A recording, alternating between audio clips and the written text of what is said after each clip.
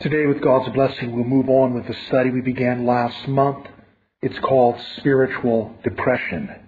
Depression, you know, is a sorrow that stays with you for weeks, months, years, or even a lifetime. And spiritual depression is the kind that has no medical cause. If you've been down for a long time and can't imagine why, go to the doctor. He is God's gift to you, and you mustn't be ashamed of taking what the Lord has provided for you. The depressions I have in mind, however, cannot be healed by doctors.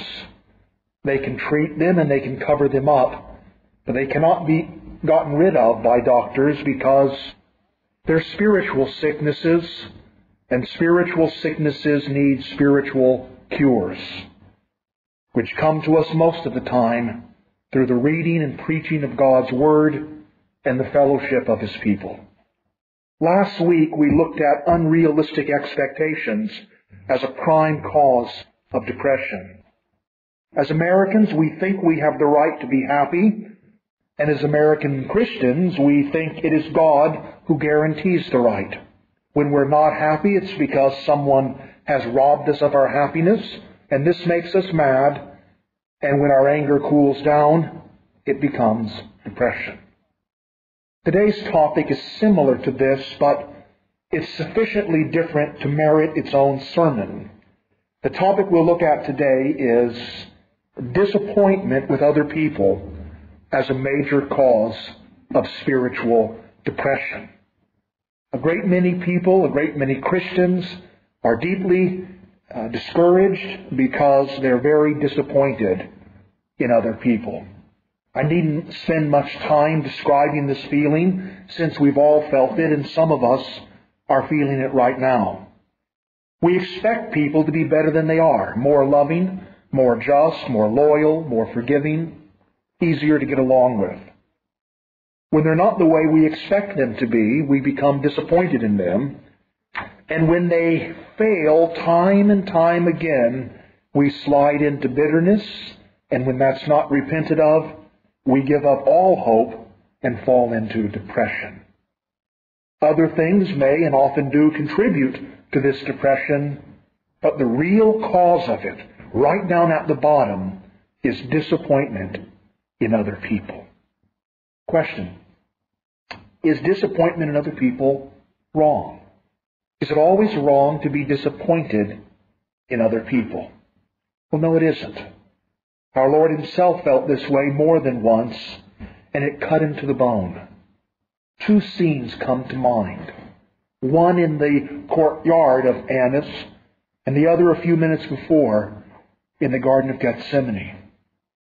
On the night of his arrest, our Lord told the disciples they would panic and forsake him.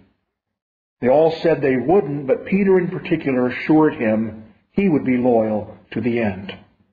He wouldn't be, the Lord warned him, but to no effect, for Peter remained as cocksure as ever. A few hours later, he did just what the Lord said he would do. He denied the Lord three times. When the final oath was just out of his mouth, Luke says, the Lord turned and looked upon Peter. He doesn't describe the look he gave him because he doesn't need to. It wasn't a look of hate or scorn or hurt pride. It was a look of deep and intense disappointment. No wonder the poor disciple, who really loved the Lord, went out and wept bitterly. This was our Lord disappointed. If the disappointment he felt in Peter hurt him, our Lord was hurt even worse by another friend who did him wrong. When the other disciples went with the Lord to the Garden of Gethsemane, the other man went elsewhere. Taking him for a good and generous man, the others thought that he had gone elsewhere to help the poor. But it wasn't the poor whose pockets he was filling that night, but his own. Thirty pieces of silver were given to him to find and identify his master, which he did in the most shameless way imaginable. Judas, are you betraying the Son of Man with a kiss? Yeah, that's exactly what he was doing. Although our Lord knew from the start what kind of man Judas was and what he would do, he was still the traitor's friend and looked at him with crushing disappointment. It is not wrong to be disappointed in other people. The only one who never feels that way is the cynic, a person lacking the three things most needful faith, hope, and charity. If you want to avoid all disappointment, become a cynic. But you can't be a cynic and a Christian at the same time. Because cynics don't only disbelieve in man, but they also disbelieve in God and His grace. And so, if it's not wrong to be disappointed by the actions and attitudes of other people, what is wrong is to let the disappointment rob you of your joy and peace and obedience. That's really the issue we'll look at today. Not it's wrong to be disappointed, but rather it's wrong to let that disappointment rob you of the joy that God has for you or make you to slump into depression. That's what's wrong. No chapter in the Bible features this kind of depression more clearly than the one we read just a few minutes ago, 1 Kings 19. Elijah is the prophet of the Lord. A few hours before, he had met the king of Israel and 400 prophets of Baal on Mount Carmel with the whole nation in attendance. Quite a scene. One prophet of the Lord, king of Israel, 400 prophets of Baal up on top of the mountain, and hundreds and thousands of people all around them. Elijah proposed a contest between the true God of Israel and the false. Baal's men would build an altar and ask their God to send fire from heaven to burn it up. If he did, Elijah would join the nation and say, Baal is God. If he didn't, though, Elijah would rebuild the altar of the Lord and ask the Lord to send fire. If he did, the Lord is God. The people thought this was a very good idea. The prophets of Baal went first, and they cried out to their God all day long. But he did nothing for them because Baal himself is nothing. Baal flopped big time and in public. Late in the afternoon, near six o'clock, Elijah built an altar to God, put a butchered animal on it, and drenched it with water. Hundreds of gallons of water were poured on the animal and the altar and the ground and the trench that was dug around the altar. Then he told the people to draw near to him because he wanted them to see he was no magician. This was no trick up his sleeve. They got really as close as they could, and then he prayed in just a couple of sentences, and the Lord answered with fire. The people were awestruck at God's power and grace. And for the first time in more than a hundred years, they said, The Lord, He is God. The Lord, He is God. Well, if the Lord is God, Elijah answered, take those prophets of Baal down to the river and kill every last one of them. Which they did. At last, after years of halting between two opinions, the people had made up their minds, and at long last they would return to the Lord with all of their hearts. That's what Elijah's hope was. But of course, his hope didn't come true. The people he had invested his hope in disappointed him. And neither did the prophet have long to savor his victory. For word soon reached Jezebel, who was not there, but she was apparently at the palace. It wasn't long before word reached Queen Jezebel, and the queen swore an oath that by this time tomorrow Elijah would be as dead as her prophets are. Hearing this threat, Elijah panicked, ran off into the wilderness, and sat down under a tree and prayed, It's enough, O Lord, take away my life. I'm no better than my fathers curious to think about what he means here at the end. No better than my fathers. I suspect he means my fathers, the prophets, the prophets that whom God had sent before Elijah was born. These men had struggled with Israel. God had sent them prophets rising early and sending them. And they all got the same treatment. Israel was made no better by the prophets And Elijah said, I'm one of them. I'm doing everything they did. I'm pouring my heart and soul into these people, and look what return I'm getting. They say the Lord is God, but right now they back the Sidonian queen. The man has a breakdown. He falls into deep depression. How do we explain Elijah's condition? If you read his whole life in this chapter and the chapters that come before, you'll see several things piled up on him to break his mind. For one thing, he was lonely. For three and a half years, he had been hiding in a foreign country and without any fellowship of his own people. He was hungry, not having eaten all day long at least, and maybe he'd been fasting longer than that. He was tired, drained from the long journey alone and on foot. He was away from home. It was Elijah the Tishbite, but he wasn't in Tishbe. In fact, he had no home. He was sitting down under a tree. He was scared of Jezebel, and he thought the work he lived for had come to an end. All these things contributed to his depression, but they didn't cause it. What broke his heart was disappointment in the people he loved and lived for. Elijah wasn't being paid for his work. He wasn't on salary. He was serving God who was providing, often scantily, like from the work of ravens and a, and a poor widow. He was being supported by God, but he was pouring his whole life into Israel and was getting nothing in return. That's what he thought.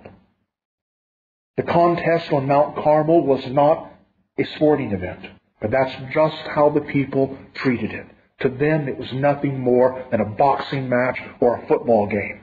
They cheered the winners, they booed the losers, and then they went back to their homes and lived the same lives they and their fathers had lived for more than a hundred years. In spite of the high sounding words, the Lord, He is God, the Lord, He is God, Israel remained as halt between two opinions as they'd ever been. Elijah was crushed by what his people had done to him and by what he thought was the futility of his life. Even he, as heroic as he was, fell into depression and chose death over life. Elijah wants to die. But God says no. You're not allowed to kill yourself. You're not allowed to wish you were dead. The Lord spared Elijah's life, but this is not all he did. He went on to restore his balance and make him as useful as ever, and everyone who knows the end of his story also knows, made him happier than could, he could have possibly imagined. How did the Lord pull Elijah out of his despair? It would be very easy to say the Lord can do whatever He wants to, and everything the Lord does, He does by miracle. There is some truth in that. But no miracle was performed this day in rescuing Elijah from his depression. Just a couple of tried and true methods were used, and as always, they worked. So, what did the Lord do to save Elijah from his depression? Two things. Number one, He gave him something to do verses 15 and 16. Then the Lord said to him, Go, return on your way to the wilderness of Damascus, and when you arrive, anoint Hazael as king over Syria. Also you shall anoint Jehu, the son of Nimshi, as king over Israel, and Elisha, the son of Shaphat of Abel Meholah, you shall anoint as prophet in your place. Nothing feeds depression like doing nothing. Or, more to the point, Nothing feeds Christian depression more than doing nothing for God. If you're depressed on Sunday mornings, here's what you do. Get out of bed, you go to church, and you stay until the afternoon service is over. You fear the hours will wear you out, but they won't. They'll refresh you. Psychologically, they do this because they get your mind off yourself and your problems. I came to church this morning thinking of, oh, what a terrible family life I have, or oh, how am I going to pay those bills, or that was terrible news I got from the doctor. But I come here and these things aren't mentioned, are they? I come here and it's all about God and all about Christ and all about forgiveness. And I think about these things more than the other things. So it works in a purely psychological way. Chiefly, church is not a distraction. It's not like going to the movies or going to a game where you think about something else for a couple or three hours. Chiefly, they lift you up because they put you in contact with God, in whose presence is the fullness of joy, and at whose right hand are pleasures forevermore. What does depression do to us? What it does is very simple, and everybody knows it. It turns us inward. But we will find no peace or joy until we obey the Lord Jesus, who tells us to look outward. This is my commandment, that you love one another, that your joy may be full. Am I advocating busy work? Maybe. I know a young woman who began her climb out of depression by doing three things a day. Three things. Let me say just briefly about her condition. This dear young woman was deeply depressed to the point that she would spend almost 24 hours a day in bed. She just wouldn't get up at all. That's how depressed she was. Well, a counselor talked to her and told her, do three things a day and you'll be better. Three things were, number one, get up at 8 o'clock in the morning. Number two, make breakfast. Number three, wash the breakfast dishes. Then he said you can go back to bed and spend the rest of the day in bed. These three little things that took maybe a total of 30 or 45 minutes gave her a peg to stand on, and within a few months, she was more or less back to normal. Busy work is better than nothing, but loving work is better than anything, and this is what I'm really advocating. Our Lord said, it's more blessed to give than to receive. Giving makes you happier than getting. That's what he means. This means that if giving makes you happier than getting, that a person cannot get out of depression until he starts giving. And giving from the heart and without gloating or feeling sorry for himself or being thanked to the high heavens. Don't think you'll get better curled up in a ball. Don't think you'll get better not getting back to the people who leave messages on your phone. Don't think you'll get better locked in your bedroom with the television on. God has given you things to do, present things to do, and not just with your body, like get up, get dressed, make breakfast, wash the dishes. But He's also given you things to do with your heart. Do them and see if you're not better. And in particular, since we're talking about the depression that is caused by disappointment with other people in particular. Do these things for the people who've disappointed you so deeply. You want to get out of your depression? Do something. But not just anything. Serve the people who disappointed you. I wonder if there's any more common cause of unhappy marriages and disappointment. She's not what I thought she was. He's not the man I thought I married. These things are left to linger, left to fester. They last for years and years and years until the happy marriage becomes indifferent at best and maybe something far worse than indifferent. How do you do that? How do I get out of the depression that I should have married someone else, that, that you should have married a better man than he is. How do you get out of it? You start getting out of it by serving that person who's disappointed you. This is not my advice. If nothing else, it's loving your enemies, doing good to those who hate you, praying for those who spitefully use you and persecute you, and blessing those who are against you. That's the first thing. The second thing that God gave Elijah was he gave him something to hope for. Verse 17. It shall be that whoever escapes the sword of Hazael, Jehu will kill, and whoever escapes the sword of Jehu, Elisha will kill. Now that doesn't sound very encouraging. but this is exactly what Elijah needed to hear. Elijah would not be in the world forever. I'm tempted to say he wouldn't live forever, but he did. But Elijah would not be here in the world forever. And when he left it, God says the saving work of God will continue. Part of that saving work is separating the wheat from the tares. Elijah had done some of that himself. And before long, Hazael, Jehu, and Elisha would carry on Elijah's work. And when these men died, God would find others, then others, then others, until finally he hit upon just the right man to finish the job, Jesus Christ our Lord. This means Elijah's life had not been futile. He said, Israel has slain your prophets, they've thrown down your altars, and I and I alone am left. But Elijah was wrong. His word had reached 7,000 in Israel and had reached them with a power to make them defy a bloodthirsty queen. And so the word of God had succeeded. Elijah didn't know it had, but it had. And it would succeed because every work for Jesus will be blessed, especially the work that Jesus does personally. Moral to my story is this. We're not allowed to live in disappointment. We are not allowed to live in disappointment. We're allowed to be disappointed. We're allowed to feel disappointment, but we are not allowed to live in disappointment because the Lord is still at work in the world and in the hearts of the people who have let us down. We may not see his work. Elijah didn't. But we must believe in it and also believe what he is now doing invisibly will one day be plain for all to see.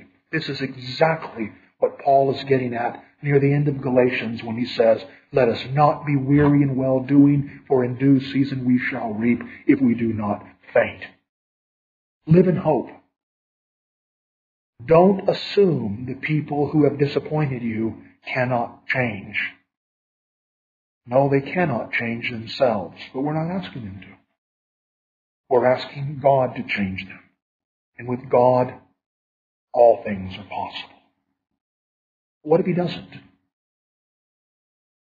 What if a man is disappointed in his wife and he prays fervently for many years that God would change her and he doesn't? She's as shrewish and impossible to live with as ever. May he then be excused for his disappointment? No, he may not be. Changing people is God's work, and we leave it with him, knowing that he will do it wisely and well. Our task is not to change others, but to love them, and to love them as they are. This won't save us from all disappointments, but it will save us from living in disappointment and what goes with it depression, bitterness, and despair. You depressed because someone has let you down? You expected better of him, but he didn't deliver. You thought she'd be better than she is, but she's actually worse than she is. Are you depressed because someone has let you down? If you are, welcome to the club. Everyone has been let down, including Elijah and our Lord Jesus Christ.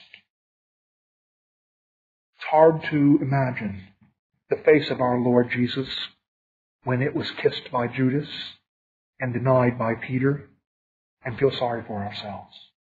No one has ever suffered the way I have. No one has ever had the kind of life I had. No one's kids ever betrayed them the way my kids betrayed me. No one's parents ever done him wrong worse than my parents done me wrong. How in the world can we say such things in light of the sufferings and the disappointment and the rejection of our Lord Jesus Christ? He came to his own, and his own said, we don't want you. The disappointment hurts us badly. Of course it does. It hurt Elijah badly. It hurt Christ worst of all. Because our Lord's soul, unlike ours, had no calluses on it. He had the thinnest of all skins because he had to suffer all things that we do. But notice Elijah did not stay down forever. This is not the end of the story. The rest of the chapter and the chapters that follow say that Elijah was entirely restored and went back doing the will of God and eventually was rewarded by going to heaven in a chariot of fire without uh, benefit or detriment of death. Elijah did not stay down forever because God roused him from his sorrows by giving him something to do and something to hope for. He's given you the same two gifts. Your job is to love the ones who let you down, and this doesn't mean tolerating them, it means loving them. And love is described for us in 1 Corinthians 13 as that state of mind that suffers long and is kind. It does not envy, does not parade itself, is not puffed up, does not behave rudely, does not seek its own, is not provoked, and thinks no evil. Loving others increases the likelihood that we will be hurt again. But this is the risk we must take, for Christ took it, and we're called to follow him, and to put our hope where he put his, in the power, wisdom, and mercy of God. You don't have to live in disappointment. You're not allowed to live in disappointment. Insofar as it's your duty, I urge you in the name of God Himself to repent of the disappointment you've been living in. Insofar as it depends on God, I pray that He'll give you and me alike the grace to do it. Let's pray, please. Uh, Heavenly Father, we thank you for the Word of God. We thank you for its instructive stories. We pray that we would learn from them, Lord. Learn to follow what is good and not what is evil. Lord, we thank you for restoring Elijah, a real man, one of our own ancestors, flesh and blood, the same kind of person that we are. Lord, we thank you that you restored him, and we thank you that in his restoration you hinted that you would restore us. O oh Lord, restore us from the disappointments we so keenly feel and the heartache and depression it causes. Grant us these favors, Lord, because we need them, because you have not willed your people to be a morose people, but to be a rejoicing people. Give us these things, Lord, for Christ's sake and for your glory. Amen.